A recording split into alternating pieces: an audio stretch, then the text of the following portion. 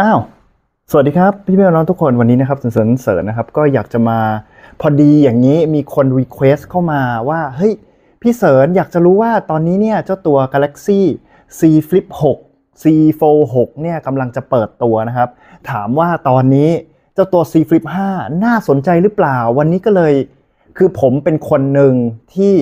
ซื้อเจ้าตัว Galaxy Z Flip 5 ตั้งแต่วันแรก ที่เขาให้ซื้อให้เปิดจองเลยนะครับ ดังนั้นเนี่ยใช้มาก็เกือบจะปีแล้ว อยากจะมาพูดถึง ข้อดีข้อเสียที่เจอในตอนนี้จากการใช้งานจริง ๆ ที่เกิดขึ้นซื้อเองใช้เอง ไม่อวยอยู่แล้วเสริญนักข่าวมือถือ เราจะเริ่มกันที่ข้อดีของเขาก่อนแล้วกัน ข้อดีของเขานะครับ ข้อแรกเนี่ยก็คือในเรื่องของทุกคนรู้แล้วเจ้าตัวสำหรับเจ้าตัว C Flip 5เนี่ยมันความการจับ ของมันเนี่ยเวลาพับลงมา มันจะเก็บที่ประหยัดที่ได้ดีมากๆนะครับ แล้วเวลาที่สมมุติว่าเราแบบจะใส่กระเป๋ากางเกงเนี่ย คือมันอันเล็กชิดเดียวอะคุณจะใช้กระเป๋าอะไรจะใส่ในเพิร์สกระเป๋าถือของผู้หญิงเนี่ย มันเหมาะมากๆสำหรับการพกพานะครับ ขนาดมันเล็กกระติ้วเดียวเองอะคิดดูดี เนี่ยดังนี้ดังนั้นเนี่ยผมคิดว่าที่หลาย ๆ คนบอกว่าเฮ้ยจะออกไอ้ตัว Galaxy C Flip 5 มาทำไมเมื่อแบบ มันพับแบบนี้แล้วมันใช้งานไม่ได้ มันใช้งานแบบมันไม่เหมือนตัวตัว C4 อะเข้าใจไหม C4 เนี่ยพอสมมติว่าเราเปิดใช้งานปกติใช่ไหมแล้วเวลาที่เราต้องการจะใช้หน้าจอแบบแท็บเล็ตเนี่ยเราก็จะสามารถเปิดมาใช้งานได้แบบแท็บเล็ตเล็กๆอะแต่ว่าสำหรับตัวนี้เนี่ยต้องบอกก่อนว่าจุดประสงค์เนี่ย มันทำออกมาไม่เหมือนกันนะครับ ตัวนี้เขาทำออกมาเพื่อการพกพาที่สะดวกง่ายขึ้น ดังนั้นเนี่ยส่วนตัวผมเองนะ ถ้าเกิดว่าจะซื้อใช้ไม่ว่าจะเป็น C Flip 6 หรือว่า C Fold 6เนี่ยก็คงจะซื้อ C Flip 6 อยู่ดี ต่อมานะครับ ข้อที่คิดว่าเฮ้ยมันตัวเล็กชิดเดียวก็จริงนะครับ อันนี้ติดสติกเกอร์การลื่นไว้เพราะว่าผมหลังๆเนี่ยไม่ค่อยชอบใส่เคสแล้วนะครับ ไอ้ข้อ 2 ต่อมาเนี่ยก็คือแม้ว่าจะตัวเล็กขนาดนี้ แต่ว่าชิปของมันยังทรงพลังอยู่เลย ชิปของมันเนี่ยใช้ชิปเรือธงของปีที่แล้วนะครับ ก็คือชิป Snapdragon 8 Gen 2 นะครับ แต่ไอ้การทรงพลังของมันเนี่ยมันก็มีข้อเสียตามมาเหมือนกัน แต่เดี๋ยวมาฟังในเรื่องของข้อเสียนะครับ ส่วนข้อที่ 3 เนี่ยไอ้ตัวเนี้ยช่วงนี้ด้วยเอาช่วงนี้เลย เป็นเรียกว่ากำลังจะเข้าฤดูฝนแล้วนะครับ เจ้าตัวนี้เนี่ยออกไปไหนกับผมเนี่ยค่อนข้างที่จะสบายใจมากๆ แต่บางคนก็บอกว่าเฮ้ยพี่เสริญเห็นแบบมีเรื่องที่แบบไอ้พวกมือถือซัมซุงเนี่ยโดนนงโดนน้ำแล้วแบบกระจกจอด้านหน้ากระจกจอด้านหลังลอกงุ้งยิงงุ้งยิงเนี่ยคืออันนั้นผมก็เข้าใจนะ คือบางคนเอาเอาลงไปเล่นน้ำเอาลงไปดำน้ำเลย แล้วอย่าลืมว่าเจ้าตัว IP กันน้ำที่เขาบอกกันเนี่ยนะครับ มันกันได้เฉพาะน้ำจืด เข้าใจไหมคุณจะเอาไปลงเล่นไอ้ทะเลน้ำเค็ม หรือว่าจะลงไปเล่นสระน้ำที่แบบมีคลอรีนพวกนี้มือถือคุณไม่เซอร์ไวฟ์หรอกครับ แต่จะบอกว่าที่ผมบอกว่าทำไมถึงเอาข้อนี้มาเป็นข้อดี เพราะว่าพอเรียกว่าไม่เรียกว่ากันน้ำร้อยเปอร์เซ็นผมจะเรียกว่ากันละอองน้ำได้ดีมากๆ เวลาที่สมมุติว่าเราเปิดใช้งานกลางฝน แล้วต้องการจะดูแบบ GPS ต่างๆ เนี่ย ผมคิดว่า มือถือตัวนี้เนี่ยทำได้ค่อนข้างดีแล้วที่ผมเคยทำคลิปโชว์ไปก็คือ ไอ้หน้าจอเล็กๆ แบบนี้เวลาที่สมมุติว่าเราเดินอยู่ในต่างประเทศแล้วหาทางไปไม่เจอ สามารถใช้แค่หน้าจอตรงนี้เปิดเจ้าตัว Google Map แล้วก็สามารถเดินตาม Google Map จากตัวจอเล็กๆ นี้ไปได้ ผมคิดว่ามันเป็นฟีเจอร์ที่แบบ มันเท่มากอะ่ะแล้วข้อสุดท้ายที่เป็นเรียกว่าเป็นจุดประสงค์หลักที่ผมซื้อเจ้าตัว C Flip 5 ตัวนี้มานะครับ ก็คือการที่เราใช้หน้าจอของมันเนี่ยในการที่ถ่ายลงถ่ายรูปได้ พอใช้หน้าจอจอนอกในการถ่ายรูปเนี่ยแสดงว่าเราจะใช้เจ้าตัวกล้องที่ดีที่สุดของมือถือรุ่นนี้ในการถ่ายเซลฟี่ในการถ่ายวล็อกถ่ายต่างๆเนี่ยคือมันเป็นกล้องที่ดีที่สุดแล้วมันก็ดีที่สุดจริง ๆ ถ้าไม่เชื่อนะ คุณลองถ่ายจากกล้องสมมุติคนที่มีมือถือรุ่นนี้ลองถ่ายจากกล้องในรูปหนึ่งแล้วก็ถ่ายจากปิดจะปิดพับมันอะแล้วก็คุณลองถ่ายจากกล้องหลังตรงเนี้ยรูปหนึ่งแล้วคุณเอามาเปรียบเทียบกัน คุณจะเห็นความแตกต่างเลยว่าไอ้กล้องหลังที่เขาบอกว่าดีที่สุดเนี่ยมันก็ดีที่สุดจริง ๆ แล้ว เวลาที่สมมุติคุณจะถ่าย group selfie มันมี ultra wideใช่ไหม คือคุณสามารถถ่ายเซลฟี่แล้วการ processor คือผมไม่ได้บอกว่าตัวชิ้นเลนของมันดี ผมจะบอกว่าการ processing picture processing ของตัว Samsung เนี่ยทำหลังๆนะทำได้ค่อนข้างดีมากๆ แล้วเวลาคุณถ่ายเซลฟี่กับกล้อง ultra wide แม้ว่าเลนส์ ultra wide ชิ้นเลนมันจะไม่ค่อยดี แต่ว่าการ processing ของมันทำให้ภาพของมันเนี่ยพอรับได้เลยทีเดียวอย่างน้อยๆ อย่างน้อยๆ ดีกว่าเจ้าตัว คุณเซลฟี่จากกล้องด้านในแน่นอนนะครับ แต่แต่ผมจะบอกว่าไอ้ข้อดีที่พูดมาเนี่ย พอมาพูดถึงข้อเสียเนี่ย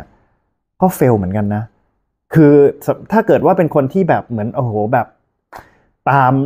อยู่ในโลกโซเชียลต่างๆ นานาเนี่ยเขาจะพูดถึงต่างๆ นานาข้อเสียข้อแรกเลยนะ คือเรื่องของการหลอน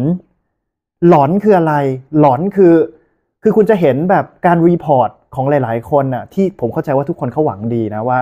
เฮ้ยเนี่ยมีตั้งกระทู้ขึ้นมาบอกว่า Galaxy C Flip 5ทำไมมันแตกบ่อยพังบ่อย หน้าจอจอแตกกลาง เกิดรอยดำขึ้นมากลางจอ แล้วก็ลามไปทั่วจอไอ้พวกนั้นอะเวลาเราเสพข่าวบ่อยๆ แล้วผมเองเป็นคนที่ชอบใช้มือถือพับๆด้วย พอเห็นพวกข่าวพวกนั้นอะบางทีนะจาก คนที่ไม่เคยหลอนอะใช้งานแบบเต็มที่ ก็กลายเป็นหลอนได้นะ แล้วพอหลอนปุ๊บเนี่ย มันจะทำให้เกิดพลานอยแล้วก็อาการที่เราจะไม่อยากใช้ มันก็จะมีมากขึ้น คือคนที่ซื้อมือหนึ่งมาเนี่ย ราคามันเกือบสี่หมื่นแล้วตอนนี้คุณลองดูว่าความหลอนของคนเนี่ยทำให้ราคามือสองมันตกลงมาขนาดไหน พวกคุณก็เห็นเป็นสักขีพยานกันอยู่ คือมันไม่ใช่ มันไม่ใช่แค่ เพราะว่าราคามันตกราคามือสองตก เพราะว่า C Flip 6 มันกำลังจะเปิดตัว มันตก เพราะว่าคนมันก็หลอนแล้วก็อยากจะขายทิ้งกัน แล้วบางคนพับพับจนมันจอมันแตก แตกปุ๊บเอาไปเคลมเคลมปุ๊บเอามาขายขายถูกๆ เพราะว่าอยากจะเปลี่ยนเป็นมือถือแบบธรรมดาโดยที่แบบไม่ต้องมานั่งตื่นเต้น แต่ผมก็เชื่อจริง ๆ ว่ามือถือธรรมดายังไงตอนนี้มันก็ยังทนกว่าไอ้ตัวมือถือพับๆแบบนี้อยู่ดี เข้าใจไหมแต่ว่าแบบนี้คือมันสำหรับ specific คนที่เอามาใช้งานแบบที่ผมใช้อะถ้าเกิดคนที่ใช้งานแบบที่ผมใช้อะเขาก็ยังอยากจะได้แบบพับๆเหมือนกันนะครับ แล้วมันก็เลยเชื่อมไปที่ข้อที่ 2 พอเราเกิดความพลานอยปุ๊บเนี่ยการใช้งานเนี่ยแม้ว่าจะใส่เคสอะมันก็ไม่ได้ช่วยให้หน้าจอมันพังช้าลงคุณเข้าใจไหมไอ้การใส่เคสเนี่ยมันมันช่วยแค่รูปลักษณ์ภายนอก ไม่ให้แบบสมมุติว่าเวลา คนเอาไปขายมือสองเนี่ยเขาก็จะแบบเฮ้ยมีลงมีรอยนิดนึงราคาตกราคาตกอะไรเงี้ยพอใส่เคสบางคนก็รู้สึกว่ามันอุ่นใจมากขึ้น แต่เอาจริง ๆ ไอ้จอข้างในเนี่ยเมื่อคุณพับแล้วมันแตกอะ่ะไอ้ข้างนอกแม้ว่าจะสวยขนาดไหน คนก็ไม่อยากใช้อยู่ดี เข้าใจไหมดังนั้นเนี่ยมันทำให้ข้อที่สองเนี่ยมันเลยทำให้เราการใช้แบบถนอมมากขึ้นแล้วบางคน ถนอมจนแบบไม่กล้าพับมาคิดดูดิ ไม่กล้าพับ แต่คือผมก็เข้าใจอีกอยู่ดี เพราะว่าผมใช้เจ้าตัว C Flip 4 มาคู่กันเลย แล้วเจ้าตัวนี้เนี่ยพับจนสายแพรข้างในอะมันเสีย พอสายแพรข้างในมันเสียปุ๊บเนี่ยเวลาพับทีเครื่องดับ ต้องคอยเปิดเครื่องใหม่ ดังนั้นเนี่ยตัวนี้ก็เป็นเครื่องหนึ่งที่ผมก็คงจะไม่จะไม่จะไม่พับมันอีกต่อไปง่าย ๆ ก็ใช้แบบเป็นมือถือทั่ว ๆ ไปแบบนี้แต่จริงๆอะมันก็ยังใช้ได้นะ แล้ว เสียดายตรงที่ตัว ROM ของมันเนี่ย512กิกะไบต์ไง ก็เลยคิดว่าใช้ไปแบบนี้ก็โอเค แล้ว Snapdragon 8 Plus Gen 1 ยังใช้ได้ยาวๆอยู่แล้ว แล้วการอัปเดตของ Samsung อะคุณคิดดูดิเขาไม่ทำให้คุณผิดหวังอยู่แล้วนะครับ ต่อมาก็จะเป็นในเรื่องของความร้อน อันนี้เป็นจุดเสียที่ผมรู้สึกแย่เลยอะความร้อนของมันเนี่ย คือจะอัพ มากี่เฟิร์มแวร์กี่เวอร์ชันกี่ Android จะยังไงมันก็ยังร้อนง่ายอยู่ดี ถ่ายวิดีโอแป๊บเดียวร้อนละ ถ่ายรูปบ่อยๆ กลางแจ้งแป๊บเดียวร้อนละ แต่คือก็ผมก็เข้าใจว่าอยู่ในประเทศไทยเนี่ยมันมันก็มีโอกาสเป็นไปได้ที่ไอ้สภาวะอากาศแวดล้อมภายนอกเนี่ยมันส่งผลทำให้ฮาร์ดแวร์ แล้วก็ซอฟต์แวร์ข้างในการจัดการความร้อนของตัวมือถือ เล็กๆ แบบนี้มันทำให้เกิดอาการร้อนง่าย คือมันคือมันก็จริงนะ แต่ว่าคือมันก็ควรจะต้องทำได้ดีกว่านี้กับราคาที่เราจ่ายไปหรือเปล่านะครับ แล้วข้อสุดท้ายที่ผมเชื่อว่าในตัว C Flip 6เนี่ยมันคงจะปรับปรุงแล้วล่ะ มันก็คือในเรื่องของเจ้าตัวกล้อง คือกล้องแบบเนี้ย12 ล้านพิกเซล แล้วคุณให้ผมซื้อในราคาแบบ 3-4หมื่นในราคาเปิดตัวของมันอะ คือมันมันไม่น่าใช้ก็ตรงนี้แหละ แต่ถ้าเกิดว่าคุณ up กล้องขึ้นมา มีกล้องสมมุติว่าเป็นสิ่งที่อยากจะได้นะ สิ่งที่อยากจะได้คือความจริงผมอาจจะไม่ได้จากมันหรอก ก็คืออยากจะให้มีอย่างน้อยกล้องกล้องเซนเซอร์หลัก 50 ล้านพิกเซล กล้อง ultra wide 50 ล้านพิกเซล หรือว่าจะใส่เลนตัว lens telephoto มา 3x ก็ได้ สักแบบ 12 ล้านพิกเซล แบบนี้คือ คือมันทำให้คนที่ซื้อไปใช้ยาวๆอะมันรู้สึกดีกับการที่เราลงทุนกับการซื้อฮาร์ดแวร์ไม่ใช่ซื้อแค่ซอฟต์แวร์ไงเนี่ยตัวนี้แหละที่ผมคิดว่า ถ้าเกิดว่าเขาสามารถแบบไม่กักสเปคมาก แล้วเพิ่มสเปคที่มันควรจะเป็นในราคานี้มาให้เราได้เนี่ยคือผมคงจะรักซัมซุงมากขึ้นกว่านี้ แต่ไม่ใช่ว่าผมจะไม่ใช้มันนะ ยังไงผมก็จะซื้อใช้อยู่ดีนะครับ เพราะว่ามันเหมาะกับการใช้งานของ ส่วนตัวผมเองที่เป็นยูทูบเบอร์ใช้แบบนี้มามารู้สึกว่ามันไม่ต้องเวลาออกไปไหนไวๆอะเวลาทดสอบกล้องไวๆอะคือมันไม่ต้องแบบมานั่งแบบพกกล้องตัวใหญ่ไป มันบางทีพกกล้องตัวเล็กไปถ่ายรีวิวเล็ก ๆ สั้น ๆ เนี่ยผมคิดว่ามันก็เหมาะสมกับการใช้งานของผมมาก ๆ อยู่แล้วนะครับ ดังนั้นถามว่าเจ้าตัว C Flip 5 สรุปให้เลย C Flip 5 ตอนนี้น่าซื้อไหม ด้วยราคาของมันน่ะเร้าใจ โคตรจะเร้าใจ แต่ถ้าถามผมรอ C Flip 6 ดีกว่า เพราะว่าด้วยสเปคต่างๆ แล้วก็อย่างน้อยเนี่ยชิปเซ็ตเรือธงของปีนี้มันไม่ทำให้คุณผิดหวังอยู่แล้วแหละนะครับ ดังนั้นเนี่ยวันนี้ก็เป็นข้อมูลทั้งหมด ถ้าเกิดว่าชอบก็อย่าลืมกดแชร์นะครับ subscribe แล้วไว้เจอกันในคลิปหน้า วันนี้เสริญเสริญนะครับ ก็ขอลาทุกคนไปก่อน อยากจะรู้อะไรอีก ก็คอมเมนต์กันมาสอบถาม อยากจะดูการแบทเทิล ของ C Flip 6 กับ C Flip 5 หรือเปล่า เพราะว่ายังไงผมเป็นคนที่แทบจะไม่ขายมือถือ